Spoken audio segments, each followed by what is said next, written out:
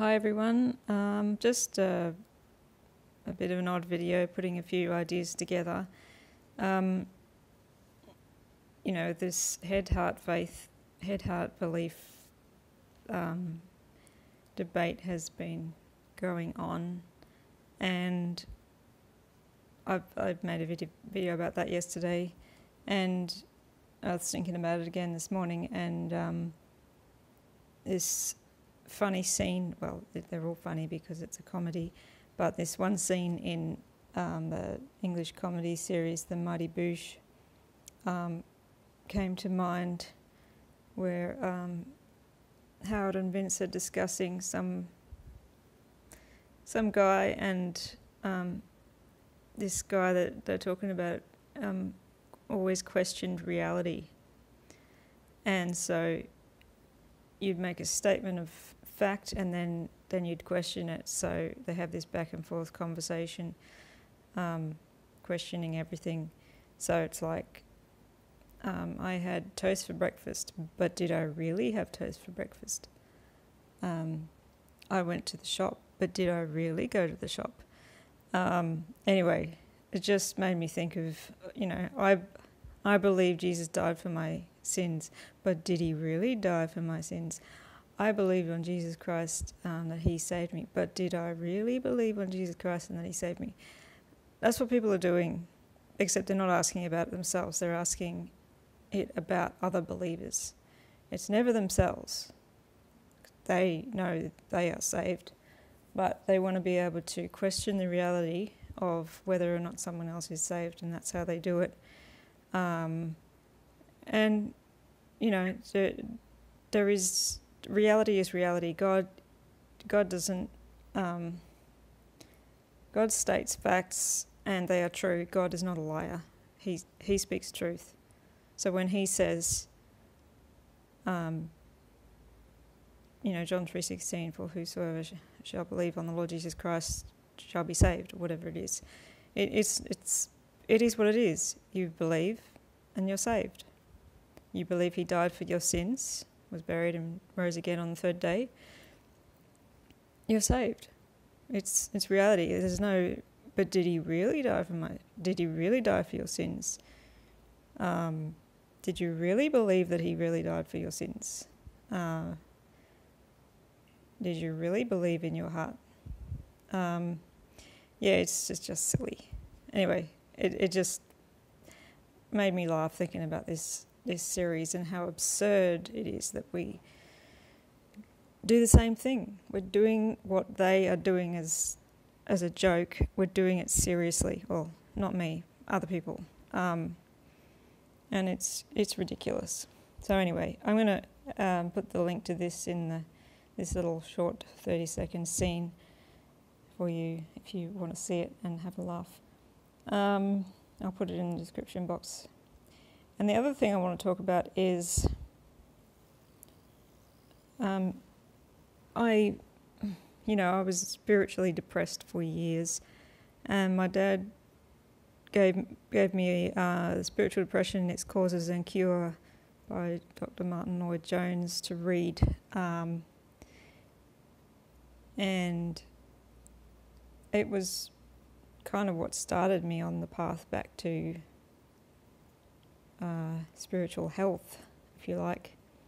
Um, and I believe that this book, I mean, it's been a few years since I read it now, but I just, I remember it had a focus on the gospel and in particular how many Christians just don't understand, you know, they kind of, they got saved by the gospel and then, and then they think that, well, that's done with. Um, put that aside and uh, try to move on with the Christian life, but they leave leaving the gospel behind and um, forget what God did for them, and um, they just get way off track and confused and depressed and you know the institutional churches are full of those type of people.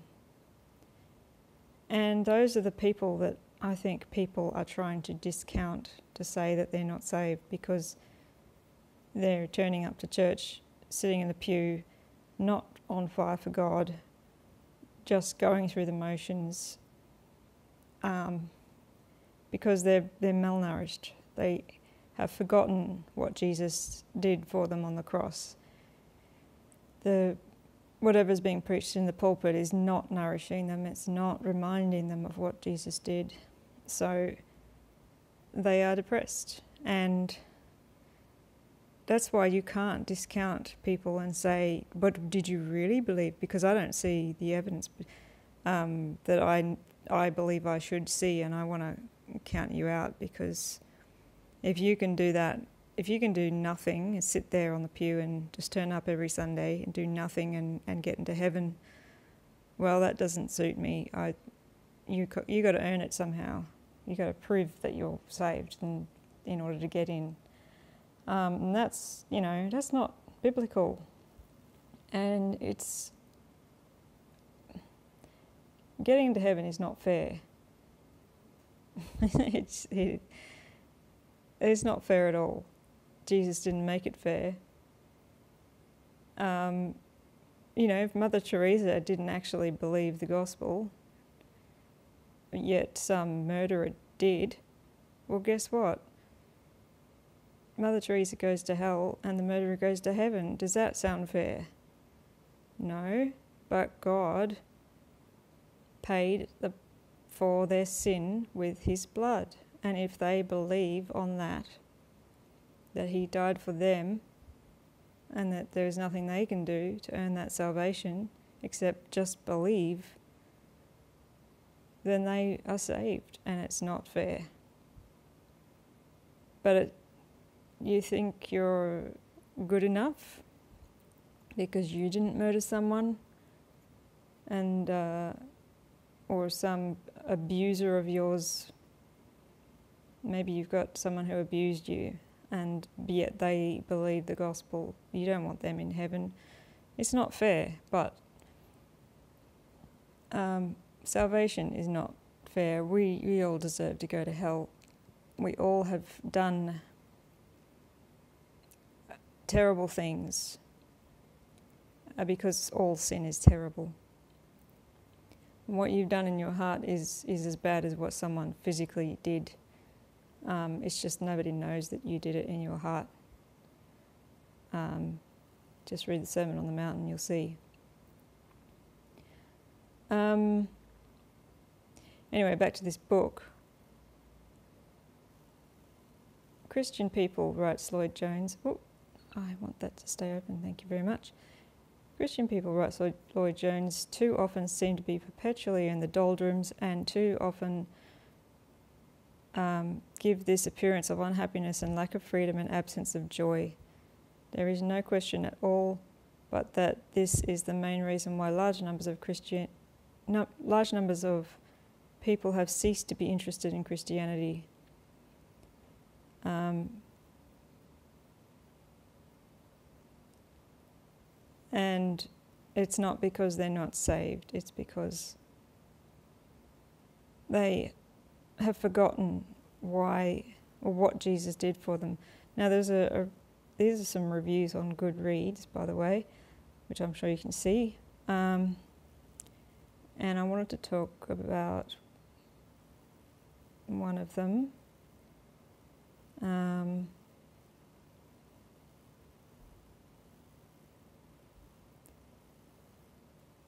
yeah, this one, I think.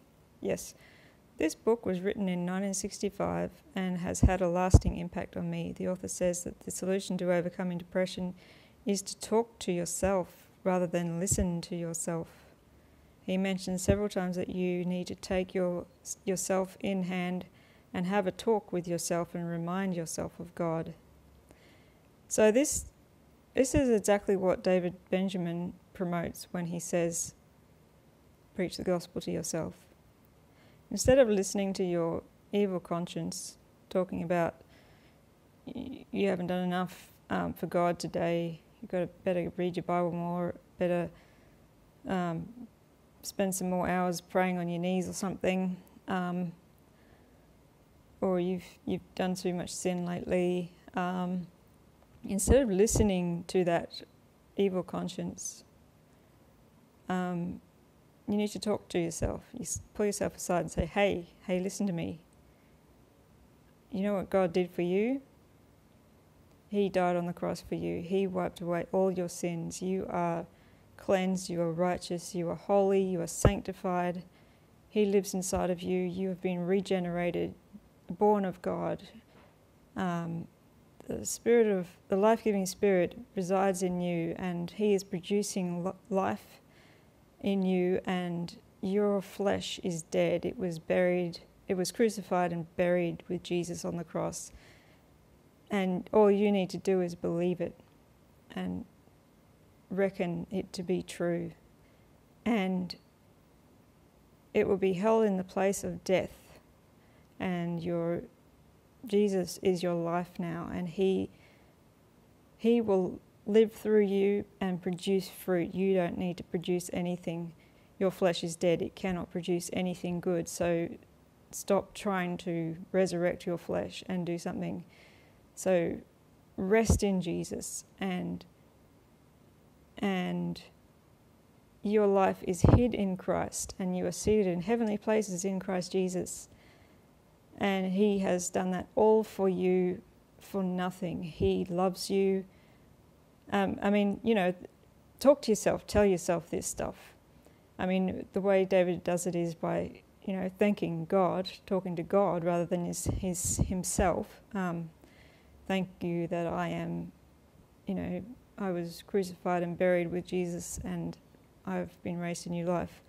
But it's the same thing of speaking the truth, knowing the truth, believing the truth, telling yourself, reminding yourself, thanking God for it.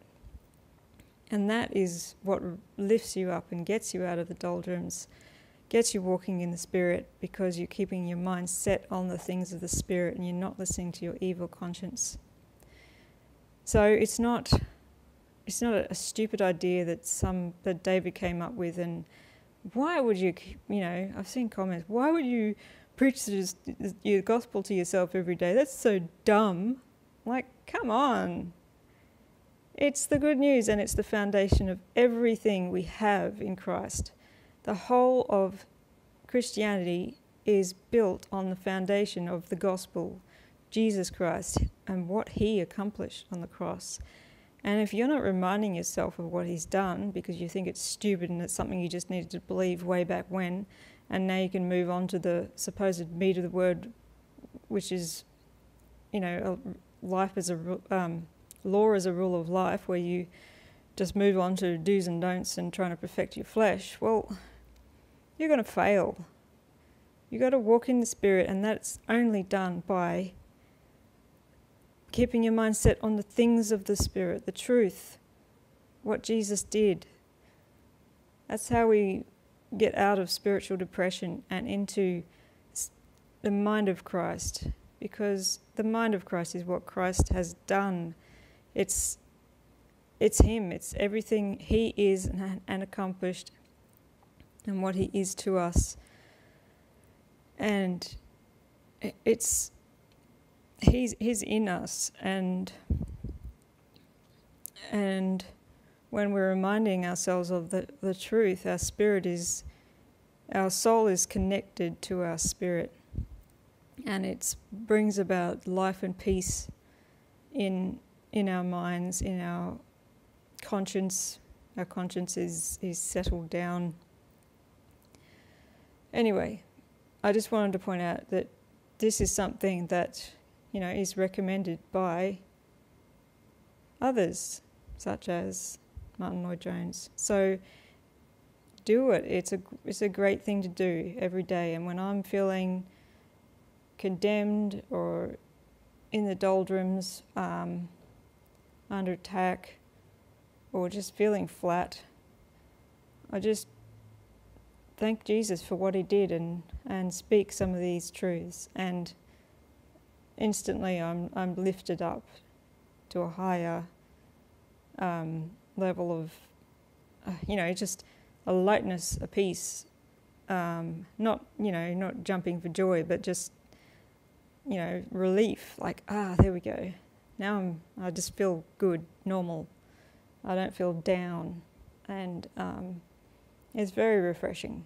So I highly recommend it. And so does Martyn Lloyd Jones. Um, yeah, that's all I wanted to say. See you later.